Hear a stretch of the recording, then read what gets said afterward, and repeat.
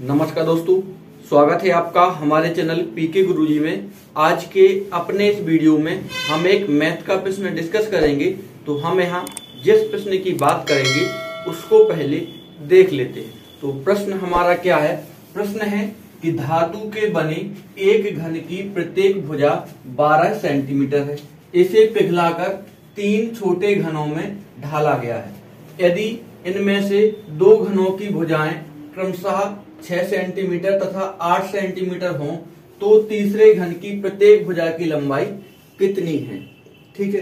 प्रश्न ने कहा कि कोई एक बड़ा घन था जिसको पिघलाया गया, और उस बड़े घन से उसने तीन छोटे छोटे घन बनाए। ठीक है? अब जो तीन छोटे छोटे घन बनाए, उनमें से दो की भुजाएँ तो हमें दे दी है। तीसरे घन की भुजा हमसे पूछी है। तो सबसे पहली बात इस प्रश्न में ध्यान रखने वाली है कि जब हम बड़े घन से छोटे छोटे घन बनाएँगे तो जो बड़े घन का आयतन होगा, वह तीन छोटे छोटे घनों के आयतन के योग के बराबर होगा, ठीक है? बस यही आपको याद रखना है।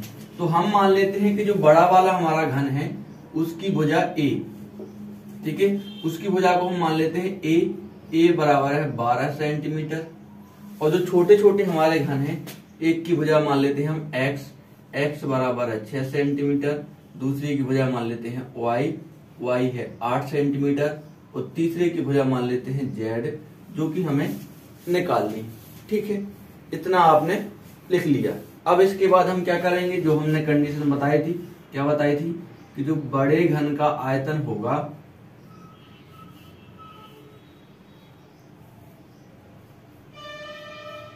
वह किसके बराबर होगा?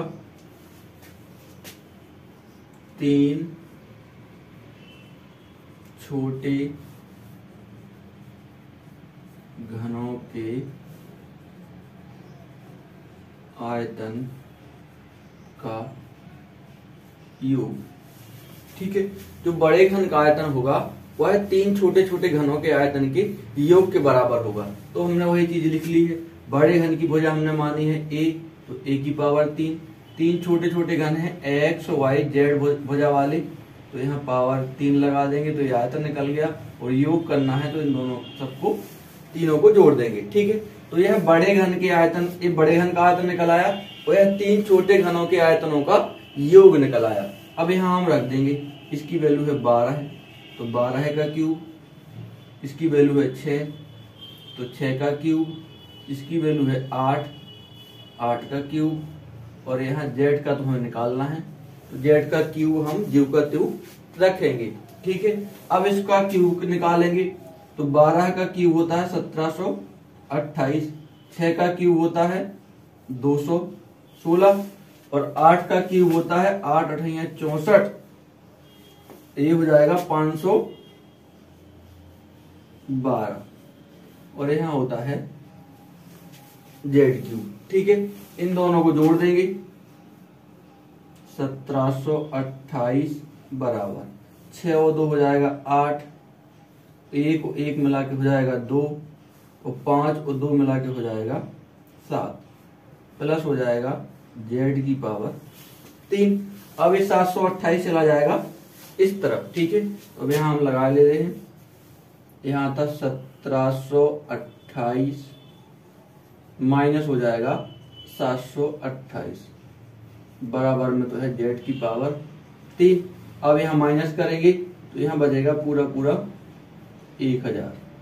बराबर हो रहेगा जेड की पावर तीन। अब एक हज़ार को कैसे ले सकते हैं? यहाँ ले सकते हैं हम दस की पावर तीन बराबर है जेड की पावर तीन। यानी जेड की वैल्यू कितनी निकलेगी? ये निकलेगी दस और लगा देंगे सेंटीमीटर ठीक है? तो जो तीसरा घन है उसकी भुजा निकल के कितनी आ गई? उसकी भुजा निकल के आ गई दस सेंटीमीटर। ठीक है? कंडीशन सिर्फ़ एक ही आपको याद रखना है कि जो बड़े घन का आयतन होगा, वह तीन छोटे घनों के आयतन के योग के बराबर होगा। बस, यहाँ पर फॉर्मूला लगाया, यहाँ भी फॉर्मूला लगाया। सबकी वैल्यू रख के हम सॉल्व करते गए तो हमें जेड बराबर 10 सेंटीमीटर मिल गया। यानी यह हमारे तीसरे घन की प्रत्येक भुजा की लंबाई निकल के आ गई, जो कि कितनी है? 10 सेंटीमीटर। ठीक है? तो ऐसे प्रश्नों को आपको इसी तरीके से लगाना है। एक घन से जितने भी घन बनाए, यानी आयतन उसमें हमेशा बराबर रहेगा, ठीक है?